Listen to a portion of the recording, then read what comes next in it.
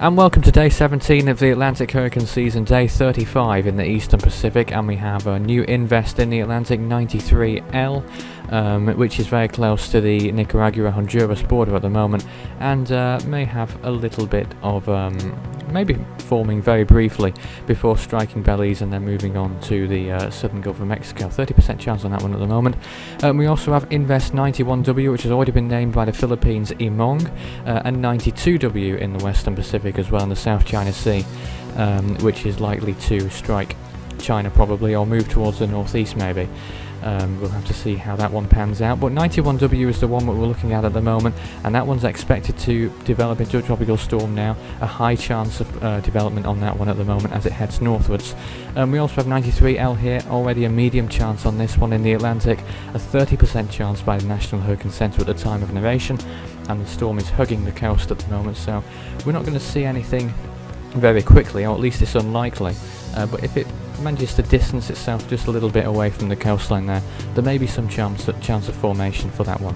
Uh, and the Indian Ocean, things looking quiet here at the moment, as they usually do around this time of year, things quietening down. There are two peaks in the Indian Ocean really, early on in the year and then a bit of a larger peak towards the end of the year, towards October, November time.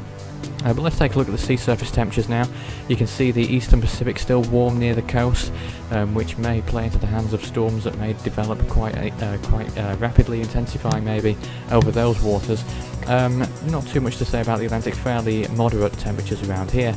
And um, in the South China Sea and the Philippines, still very warm waters here, 30 degrees or more, especially where 91W is going to end up very soon if it, when it continues towards the north, which it will do according to the forecast and to the computer models and everything, um, expected to move towards generally an, um, a north-northwesterly direction, currently with winds of 25 miles per hour, 1004 millibars, and is expected to perhaps curve towards the uh, northeast around two days' time as it passes the uh, Japanese chain islands, and then perhaps affecting the mainland of Japan.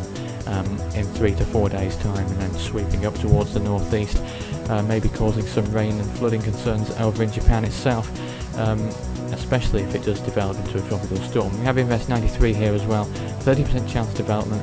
Uh, what we can see of the models at the moment aren't really hinting of development just yet, but they might not have picked up on this uh, new development of this system. But what we can see of it is that it's probably going to move into the Yucatan Peninsula and then perhaps into the southern Gulf of Mexico, the Bay of Campeche area as well.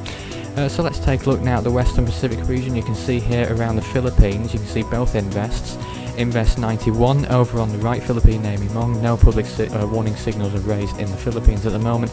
And we have Invest 92W, which is off to the left, which uh, there's much less of that one at the moment, so I don't think we'll see that one intensifying or developing anytime soon. And here's Invest 93L in the Atlantic. You can see Central America here uh, the Honduras-Nicaragua border, which is where the storm is, the centre of the storm is just lingering offshore, um, very close to the shoreline, and that's why we probably won't see much development just yet. But a 30% chance over the next 48 hours, this storm might develop if it moves out to sea just a little bit more. Looking at the model runs then, the CMC doesn't uh, really uh, hint at much in the Atlantic, but you can see at the end of the run here, two Eastern Pacific um, systems forming. You can actually see that one of them, um, the larger one, consuming the smaller one at the end of that run there. Uh, the ECMWF predicts another system, uh, a system forming at the end of that run in the Eastern Pacific, quite a broad one as well. Uh, maybe an intense storm in a few days' time, perhaps, you never know.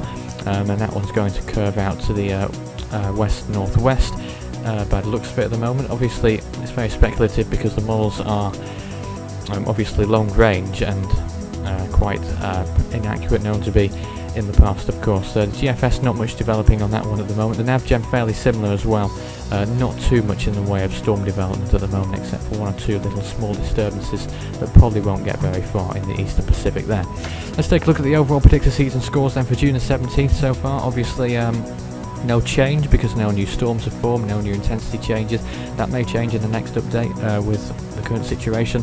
But as it is, uh, Ken remains in first with 108, Typhoon Bob with 101, and Hurricane Melissa 20 with 99 points. That's the top three at the moment. You can submit your own storm totals at the website, force13.com forward slash interactive. And then by pressing the 2013 Predict a Storm button that'll take you straight to the submission form where you can submit your own totals. It's certainly not too late at this stage um, as it's open till November but of course the earlier you predict the better, uh, the more points are up for grabs at the moment. 93 available as of today.